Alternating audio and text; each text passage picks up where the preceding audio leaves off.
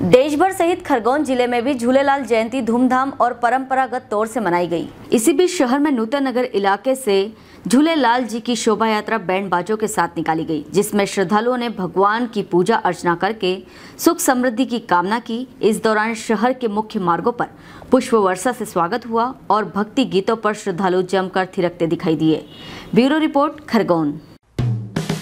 Hello friends आप देख रहे हैं हमारा channel S W twenty four news हमारे सारे वीडियो सबसे पहले देखने के लिए आप हमारे चैनल को सब्सक्राइब करें और पास में लगे बेल आइकन को दबाना बिल्कुल भी ना भूलें।